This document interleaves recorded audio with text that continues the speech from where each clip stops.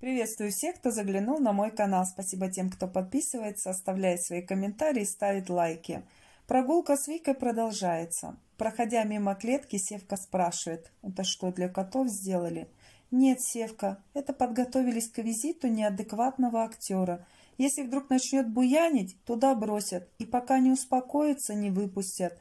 Поэтому веди себя тихо и прилично, и оставь эти глупые затеи залазить в чужие дома, а то ведь так и до беды недалеко – Потом будут транслировать по всем местным каналам, что приехал театр, и один из актеров проник на чужую территорию. Он и так, куда бы ни поехал, везде ведет себя из рук вон плохо. Любит бродить по каким-то злачным местам, особенно по мусоркам. Когда ездили в Италию, Коля, Юля, Самвел, испанский стыд было смотреть, как он не пропускал ни одной мусорки. Рылся в ней, еще и конверты нашел, прихватил с собой – и даже не заметил, что когда ковырялся, прикасался к использованному презервативу. И, кстати, после э, этого возвращения он ходил в клинику Медведева лечиться. У него там прыщики появились, вот прямо на его самой гордости. Он даже показывал, как проходило лечение, но потом сказал, да это все фигня, меня, скорее всего, развели на это лечение. Я не знаю, так это или нет, но то, что он без царя в голове, это точно. Когда лазил по мусоркам и орал, как павиан бесхвостый, проходившие мимо итальянцы наверняка были в недоумении и изумлении. Ну как можно так себя вести? Откуда приехал этот дикарь? Вряд ли они поняли, что он говорит на суржике. Скорее всего, решили, что он русский. Вот и верь после этого историям о неподобающем поведении. Поневоле начнешь сомневаться. Это у них с Викой прогулка одного дня. Хотели они перейти мост, ничего из этой затеи у них не вышло, на полпути вернулись обратно и пошли в магазин. Не успел зайти в магазин, увидел рекламу Nike. Может, кроссовки купить? А миллион тех пар, которые уже куплены, куда одевать будут?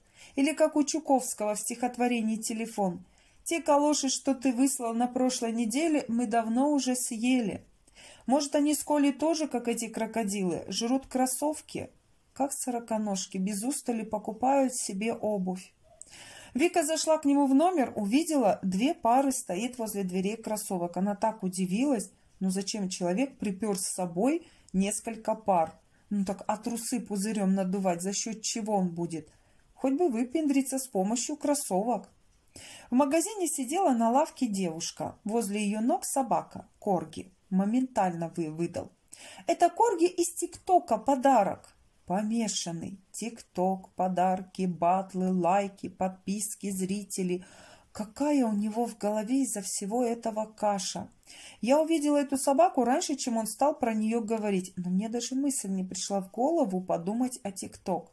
Я подумала о том, что девушка зашла с собакой там, где есть магазины, значит, можно посещать а у Севки в голове один тикток. Как сказала бы его любимая Маша, жалкое зрелище. «Я обожаю супермаркеты», — говорит Самвел. Ну, хотя бы честно признается, в отличие от Дианы. Та уже забрехалась по самую маковку. Магазины она не любит, неинтересна ей эта тема. Пусть учится у дядюшки. Он сто раз соврет, но один раз скажет правду. Хоть так уже прогресс. На полпути увидели шлям-помпо с ушками на макушке. Вика уже знает, какого рода контент выдает Самвел, тут же предложила ему эту шап шапочку примерить. К его футболке Гуччи эта панамка то, что надо. Что бы он ни надел, все равно будет выглядеть нелепо. А в этой шапочке, ну, по крайней мере, забавно.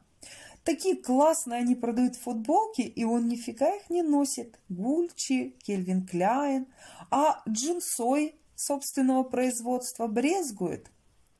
Вика посмотрела, как он выглядит в этой шапочке, говорит, купи Ольге Леонтьевне. А что ей Ольга Леонтьевна сделала? Решила анус-лизинг активизировать. Севка Ольгу Леонтьевну топит, и она не упустила возможности. Предложила бы его херями купить эту шапку. Она такое любит, с удовольствием бы таскала. Вот я уверена, если бы он привез матери эту шапку, она бы летом ее одевала на прогулку в магазин и ходила бы. Вот вам и Вика. Да их с Лерой еще в прошлый раз было видно, что это за птицы. Самвел посмотрел на себя в этой шапочке, вспомнил свою подругу, как он в последнее время стал называть Надю. В ТикТоке он ее представляет именно подругой. И тут говорит, это надо недогарскому стакану купить. Упаси бог от таких друзей, как Севка. Вот знает, что Наде неприятно, когда ее так называют, и в каждом ролике поднимает эту тему. Люди бывают разные. По-разному могут общаться в близком кругу, по-разному могут себя называть. Одна рассказывала, что мужу нравится, когда его называет она поросеночком. Ну, ничего общего у этого парня с поросеночком нет. Почему ему нравится, непонятно. Но в этом случае человек сам так захотел. Их семью это устраивает.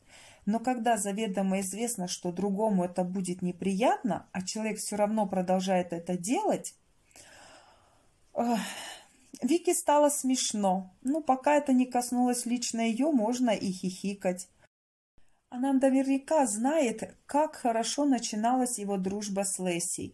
Общались, ходили друг к другу в гости, а потом все чаще и чаще он стал ее троллить, говорить всякие пошлости. Она ему этого не запрещала, судя по всему, ей это тоже нравилось, но она не представляла, чем это все в конечном итоге закончится. Севка не умеет дружить и по-человечески общаться с людьми. Ему все надо обгадить и опошлить. Однажды польется хейт и на эту Вику. Если она сразу не поставит его на место, все, пиши пропало. Он будет обращаться с ней точно так же, как и со всеми. Вика предложила к этой шапочке купить Наде купальник. «Эта задача посложнее будет», — ответил Самвел. Вика снова рассмеялась и сказала, «Ну да, мерить купальник для Нади не на кого». Я бы не сказала, что Вика страдает дистрофией. Вполне себе упитана и невоспитана, и купальник для Нади со своими мощными габаритами могла бы помочь купить без лишних слов. Тоже неадекватка. Сама пышка, но мнит себя тростиночкой. Вот вам и женская солидарность. В автобусе она потом читала Самвелу комментарии про них двоих и возмущалась, как люди любят обсирать, ни за что, ни про что. Вот она совершенно забыла вот этот момент, что плохого ей сделала Надя, что она сейчас подняла ее на смех. Когда сама делает то же самое, она не замечает. Если в отношении нее зрители что-то написали, ах, как же они посмели так про них писать. У Севки Надя с уст не сходит. Правильно Надя ему однажды сказала. С Маринкой гуляешь и только про меня и говорите. Вам что, больше поговорить не о чем? Теперь гуляет с Викой, а Надя из головы не выходит. Если вернуться к прочитанным комментариям вот по поводу того, что с Самвелом никто кроме нее не общается, а она общается только потому, что он ей за это заплатил, им стало смешно от этих комментов. Ну, конечно, напрямую разговора, я думаю, у них такого не было. Давай хотя бы ты будешь со мной гулять, да, и общаться, а я тебе оплачу визиты в рестораны, там кое-какие твои покупки. Нет, скорее всего, это было какое-то негласное соглашение. Вика заметила, что с ним никто не общается, решила поддержать. Самвел за эту поддержку пригласил в ресторан. Ну, вот примерно так оно и пошло.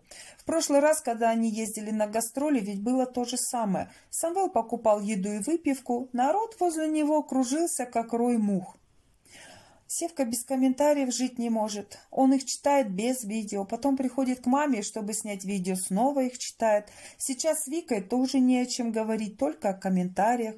Насколько же он зависим от ТикТок, от YouTube, от мнения чужих людей, кто что пишет, кто что думает. Столько лет ведет канал и никак не может отключиться от этого. Он с первых дней ведения своего канала выбирал какие-нибудь комментарии и снимал на них целое видео-ответ. Вот так вот он зависит. Хотя говорит, да мне плевать на ваши комменты, пишите, что хотите. Да нет, не так уж и плевать. Очень они его интересуют. Хорошо, что Севка прошелся по продуктовому магазину и сравнил цены. Он так рвется в Европу, он вот и, пусть и понюхает, чем она пахнет, а заодно прикинет, хватит ли ему средств на проживание там. Яйца 5 евро, ничего себе. Есть, конечно, подешевле, но все равно есть по 5 евро. Кусаются цены. Каждый день по три яйца сможет ли себе позволить? Миллионер, а цен офигел так и не показал, что купили в магазине. Судя по всему, ничего не брали. Самвел любит хвастаться покупками. В этот раз хвалиться было нечем. На словах миллионером быть легче, чем на деле. Едут на концерт, вышли из автобуса, впереди идет Саша и некая Олечка, как назвал ее Самвел. Саша пошел вперед, будто севки не существует.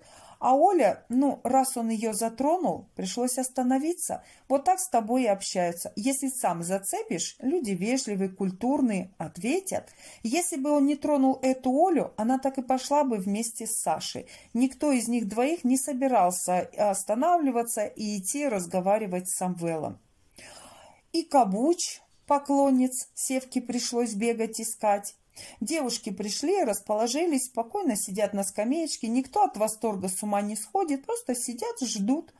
Самвел сам их нашел, подошел к ним. Спросил, ну что, девчонки, на концерт идете? Нет, говорят, билетов нет. А что ж не подготовились заранее, если так хотели попасть? Надо было купить, поприсутствовали бы.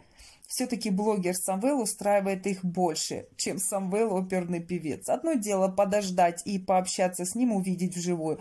И совсем другое дело сидеть, сколько там этот концерт идет, час, чуть больше, сидеть и вот это все слушать. Э, нет, спасибочки. После концерта пошел опять с Викой в магазин, увидел бюстгальтеры, стал гладить чашечки и звать Надю. Надя, Надя.